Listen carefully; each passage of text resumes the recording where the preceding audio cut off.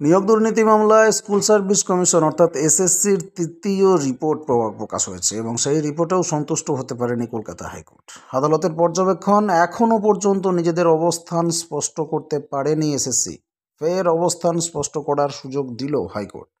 সোমবার বিচারপতি দেবাংশু বসাক এবং বিচারপতি মোহাম্মদ সাব্বার রাশিদির ডিভিশন বেঞ্চ জানিয়েছে, আগামী দুদিনের মধ্যে নিজেদের অবস্থান জানিয়ে চতুর্থ রিপোর্ট জমা দিতে হবে এসএসসিকে।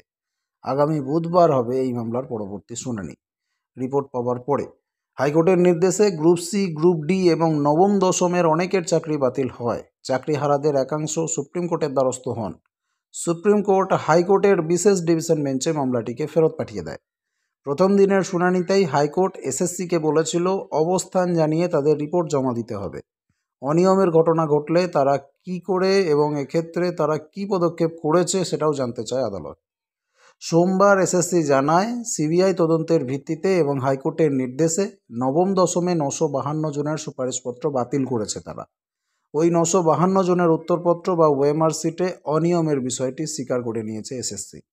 তবে গ্রুপ সি এবং গ্রুপ ডির ক্ষেত্রে কিসের ভিত্তিতে সুপারিশপত্র বাতিল করা হয়েছে তার সদুত্তর দিতে পারেনি এসএসসি। এসএসসির উত্তরে অসন্তুষ্ট ডিভিশন বেঞ্চ জানায়, আদালত কি বলেছে তার থেকেও বড় কথা আপনারা কি সিদ্ধান্ত নিয়েছেন?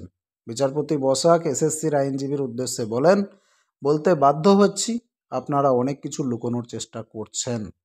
এসএসসি আদালতে জানায়, তারা সিবিআই এর রিপোর্টের ভিত্তিতে সিদ্ধান্ত নিয়েছে। তাদের কাছে এই বিষয়ে আলাদা করে কোনো তথ্য নেই। হাইকোর্ট তখন জানতে চায় যে সিবিআই পরে অনিয়ম খুঁজে না পেলে কি ওই প্রার্থীদের সুপারিশপত্র আবার ফিরিয়ে দেবে এসএসসি প্রসঙ্গত, স্কুলে নিয়োগের ক্ষেত্রে প্রথমে সুপারিশপত্র দিয়ে থাকে এসএসসি, তারপরে নিয়োগপত্র দেয় মধ্যশিক্ষা পর্ষদ। এর আগে গত বুধবার হাইকোর্ট এসএসসির উদ্দেশ্যে বলেছিল, চাকরির সুপারিশপত্র বাতিল নিয়ে দুটো অবস্থান নয়, এসএসসির কাছ থেকে এক এবং একটা নির্দিষ্ট অবস্থান তারা জানতে চায়। হাইকোর্ট জানায়, মাথায় বন্দুক ঠেকিয়ে কাজ করানো হয়েছে। আদালতের বিরুদ্ধে এমন অভিযোগ যেন আর না ওঠে। বুধবার বিচারপতি বসাক এবং বিচারপতি রশিদির ডিভিশন বেঞ্চের বক্তব্য ছিল, কেন চাকরি বাতিল করা হয়েছিল? এখন চাকরি বাতিল নিয়ে তাদের কি অবস্থান, এসএসসিকে নতুন করে হলফনামা দিয়ে তা জানাতে হবে। হাইকোর্ট আরও জানায়, পনেরো তারিখ সকল সদস্যকে নিয়ে বৈঠক করতে হবে এসএসসিকে। সেখান থেকে সিদ্ধান্ত নিয়ে চূড়ান্ত অবস্থান নিতে হবে তাদের। তারপরে আগামী আঠারো তারিখের মধ্যে তারা হলফনামা দাখিল করবে। সেই মতোই সোমবার ফের হলফনামা দাখিল করে এসএসসি। সুপ্রিম কোর্টের নির্দেশে এসএসসির গ্রুপ সি, গ্রুপ ডি, নবম, দশম এবং একাদশ দ্বাদশ শ্রেণির সব মামলার শুনানি চলছে হাইকোর্টের বিশেষ ডিভিশন বেঞ্চে।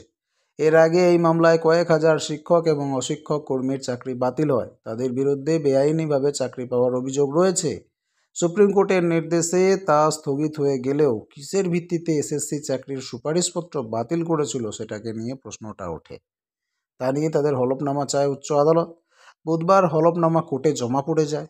বিচারপতি বসাক তার পর্যবেক্ষণে জানান, এর আগে আদালতের নির্দেশে নাকি স্বতঃপ্রণোদিতভাবে নিজেদের ক্ষমতা প্রয়োগ করে এসএসসি সুপারিশপত্র প্রত্যাহার করেছিল ওই হলফনামায় সেটা স্পষ্ট ব্যাখ্যা নেই। বিচারপতি হুঁশিয়ারি দিয়ে জানান, নতুন করে বৈঠক করে আবার সিদ্ধান্ত নিতে হবে এসএসসিকে। তা না হলে আগামীতে আদালত প্রয়োজনীয় পদক্ষেপ অবশ্যই করবে। বিচারপতি বসাকের মন্তব্য, অন্যের ঘাড়ে চেপে ঘুরে না বেরিয়ে দ্রুত নিজেদের অবস্থান স্পষ্ট করুক এসএসসি। তবে সোমবার এসএসসির নতুন রিপোর্ট বা হলফনামাতেও সন্তুষ্ট কিন্তু হয়নি হাইকোর্ট। দর্শক, আপনি কি বলবেন বিষয়টি নিয়ে? আপনার মতামত কমেন্ট করে জানান। পরবর্তী আপডেট পেতে চোখ রাখুন স্মার্ট দুনিয়ায়।